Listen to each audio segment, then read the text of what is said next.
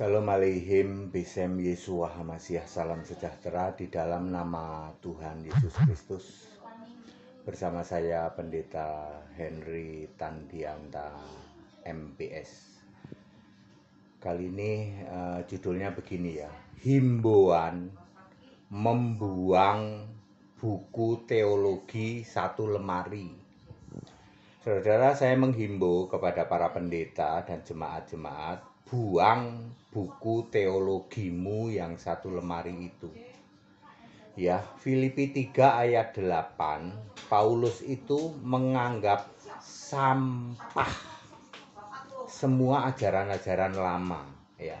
Ketika dia mengenal akan Kristus, ya. Ya, saudara-saudara harus mengenal Kristus sebagai satu-satunya Allah, mengenal Mesias, Mesias adalah Allah yang harus dipuja selama-lamanya. Ya. Tuhan adalah Allah, tidak mungkin Tuhan beda dengan Allah. Ayo. Kembali ke Alkitab, saya menghimbau buang buku-buku teologi yang satu lemari. Kalau perlu dibakar seperti saya. Saya membakar semua buku teologi. Itu penyesatan yang saya alami selama puluhan tahun saya menganggap teologi adalah sampah. Ya, buang sampah dan kita kembali ke Alkitab.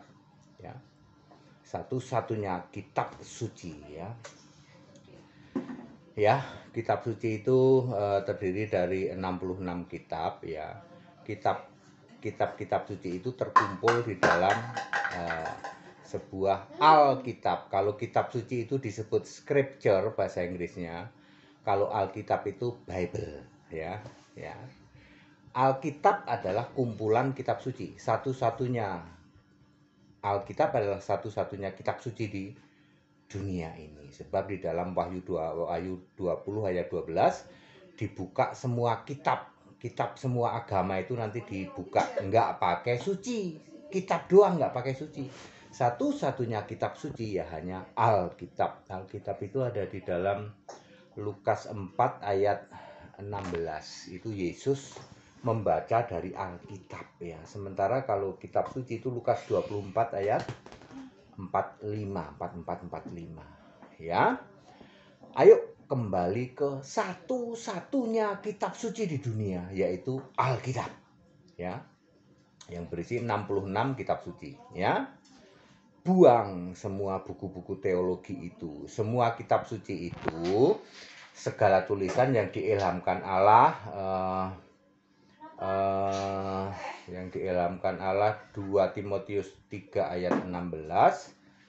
Demikian pula uh, isinya harus kesaksian tentang aku kata Yesus.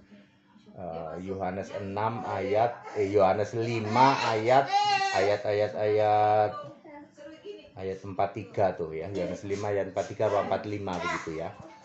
Uh, segala Alkitab kitab suci itu harus kitab-kitab suci itu harus uh, kesaksian tentang aku. Ya Yohanes ya Yohanes 5 ayat 43 ya. Kalau tidak salah ya. Sorry kalau salah ya. Baik yuk buang semua buku-buku teologi. Kalau saya saya bakar satu lemari buku teologi itu tafsir itu penyesatan, menyesatkan Anda seumur hidupmu. Ayo kembali ke Alkitab, sembah Yesus Kristus satu-satunya Allah. Kalau kamu baca buku teologi, Yesus bukan Allah. Yesus itu cuma Tuhan ya, yang jadi Allah tetap Bapa. Itu kalau kamu baca teologi. Kalau para pendeta membaca Alkitab tok, maka Yesus itu Allah. Bapak udah nggak ada karena Bapak kiasan Yesus. Ayo kembali ke Alkitab, buang buku teologi satu lemari. Itu himbauan dari saya, Pendeta Henry Tandianta MPS. Haleluya. Amin.